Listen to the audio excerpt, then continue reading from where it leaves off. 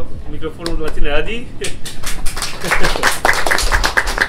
Uh, pentru că Cristina a povestit despre Texcelerator, Adi este un alumn al Texcelerator, așa că sunt curios, la cald, după ce a povestit Cristina, cum a fost pentru tine în, în Texcelerator, ce a fost important, cum ai extras tu uh, roadele acestui accelerator.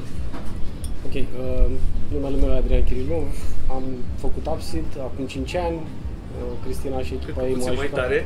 Uh, o să încerc. Uh, m-a ajutat cu partea de mentorat, am avut 3 luni sau ceva, 2 luni, așa, de jumătate 3. La ora aia nu știam efectiv nimic, nici eu, nici uh, cofondatorul de la ora aia.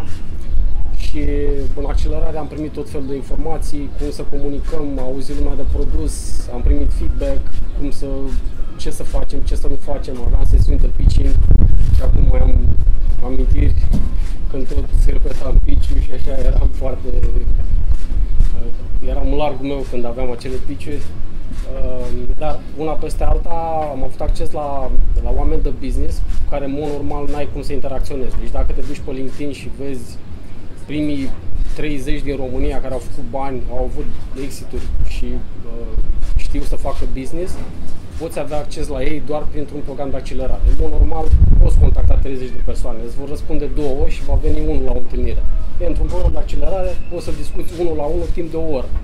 Asta, nu știu, șansele să beneficiezi de așa ceva e, sunt foarte mici chiar și pe bani.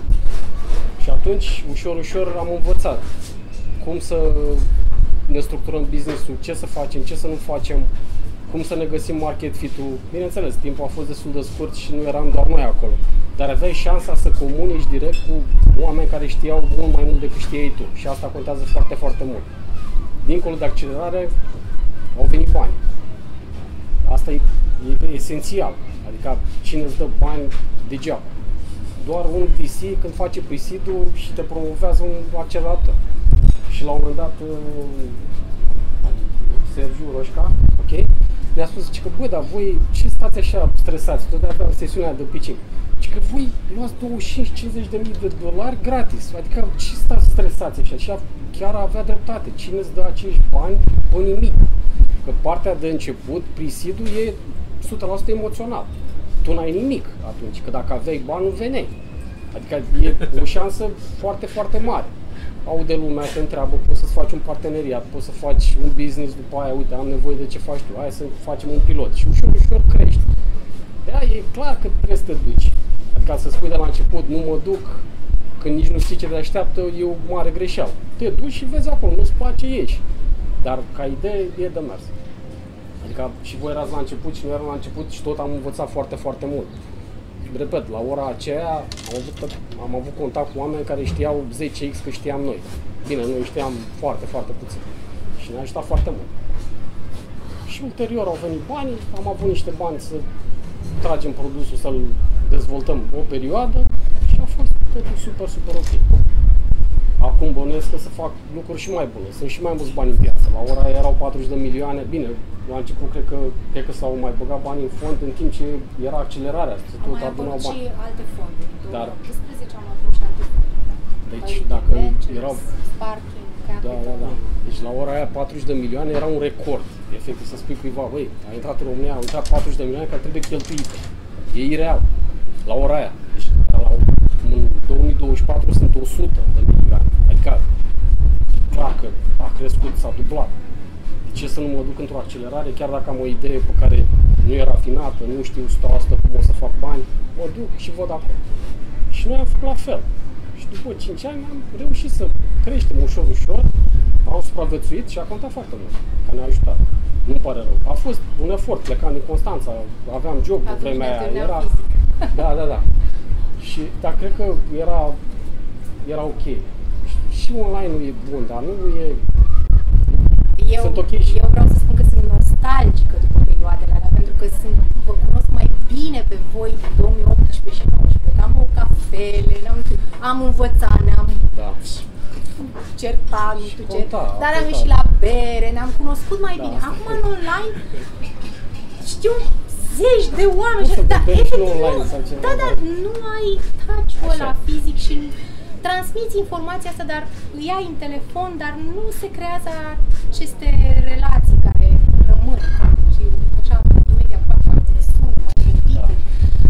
Dar uh, sunt beneficii, avantaje și dezavantaje ale online-ului, dar avantaj că ați putut extinde, altfel sigur. Da, ca idee e de mers. Deci dacă aveți o ocazie, aveți o idee, aveți un startup și vă place un accelerator, vă plac cei de acolo, vă place echipa, nu văd nicio, niciun motiv să nu vă duceți. Plus, la sfârșit poți să iei niște bani, dacă convingi, sfatul meu este să luați cât mai mult pre-seed, adică maxim cât se poate. Dacă îi convingeți să vă dea 100 de mii, 200 de mii, e incredibil, că iați banii care se dau emoțional pur și simplu. Nimeni nu o să-și ceară să ai uh, recurența anuală de uh, jumătate de milion. Nu. Acolo spun, mamă, echipa ei au niște standarde. Să fie echipa bună. Puțin mai tare, te rog. Că vorbești Scuze, despre bani și scuze, toată lumea nu. vrea să audă despre bani. Scuze, deci nu, se aude în spate, acolo? Serios? Atunci mă Hai, pun niște, nu, ridicol, dar așa hai. vorbesc, scuze. Și Scuze că nu avem, E, uh, în momentul în care iei uh, finanțare pre-seed, ăia sunt banii care se dau e- emoțional. Nu ai, nu ai recurență, produsul îi vai de capul lui, e, e important. După aia vezi ce faci cu banii, aia. contează foarte mult. Cum îi cheltui, cum îi împarți, câtă minte ai. Și aici e o altă, altă discuție, pur și simplu. E, trebuie să știi să cheltui bani, dar e- știi să cheltui bani în momentul în care faci bani. E cam greu să știi să faci bani când ești prisit, n-ai făcut niciodată business sau ești student, e un pic complicat. Dar asta, fix chestia asta, face traiectoria asta frumoasă și chiar merită să o trăiești. Ai o idee, implementează, du-te în piață, vezi ce spune piața. Cred că te ajută și cei din jurul tău, Bineînțeles, nu? bineînțeles. Mai auzi că în accelerare sunt echipe care sunt cam la nivelul tău și atunci discuți, bă, ce faci tu? Cât n-ai vândut luna asta? Și el o să zică, ca tine, n-am vândut nimic. Și atunci ai parteneri de suferință, oarecum să leagă prietenii. Da, în momentul în care se termină accelerarea, e ca atunci când, nu știu, eu am avut sentimentul ăsta când am terminat liceu. Aia e realitatea. Ce faci? O să zidărie, facultate, nu știu ce. Când s-a terminat accelerarea, începe viața reală. Intri în piața, deci noțiunea de startup mi se pare un pic uh, înșelătoare. E, ai un startup, are șase luni, dar tu de fapt trebuie să ai business. Pentru că tu trebuie să-ți plătești facturile. Când a venit Georgescu, spunea, Radu Georgescu, spunea că de fapt startup-urile mor că nu-și plătesc facturile. Nu că nu e ideea bună, nu că nu au execuție, nu îți plătești facturile. Nu ți-ai plătit facturile, a venit, ai, trebuie să tragi bani din piață și tragi bani în momentul în care ai o soluție și rezolvi o problemă. Și de fapt asta trebuie să faci, să rezolvi o problemă reală. Și acum, cât iei, cât ridici, depinde de la produs la produs. Depinde. Unele, de exemplu, OpenAI, eu personal sunt de părere că nu ai nevoie de finanțare decât, adică depinde când vrei să o ceri. Prisidul e ok. Dar după aia, tu dacă vrei să te duci să negociezi pe picior de forță o sumă mare, nu poți să te duci cu conturile goale.